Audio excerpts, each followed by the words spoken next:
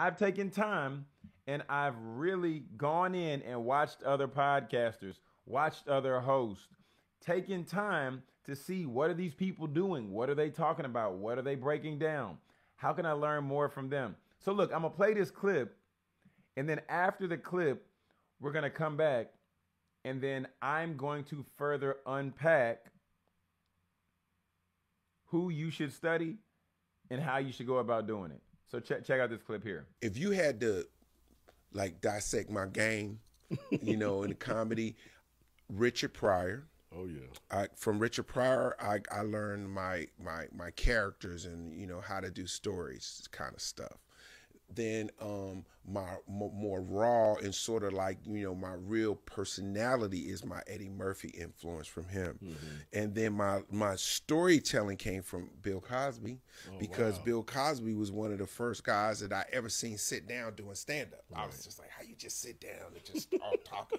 So the reason I wanted to just show that clip is because you see that Bill Bellamy is able to identify who have been some pivotal mentors in his life, right? From you know, from Robin Williams to just like you said, a little bit of Eddie Murphy, a little bit of Bill Cosby. So when you begin to identify your mentors, people will begin to identify some things that you've took from them, learned from them, extracted, wherever it may be.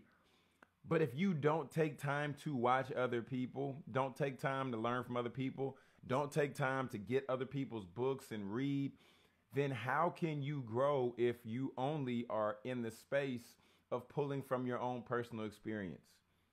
All right, so I wanted to share that, but then also I wanted to make sure that we all know, right? First and foremost, we need to identify our mentors, identify our mentors. Secondly, we need to make sure that we identify the areas that we have that are gaps either in our life or in our business.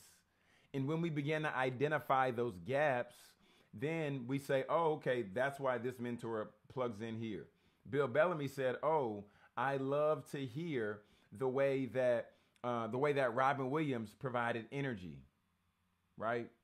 Then he came over here and was like, oh, I love the way that he broke down stories, right? So you see, he's identifying certain pieces into his life. So I want you to identify where are the gaps that are in your business, right? Is it storytelling? Is it sales? Is it personal development?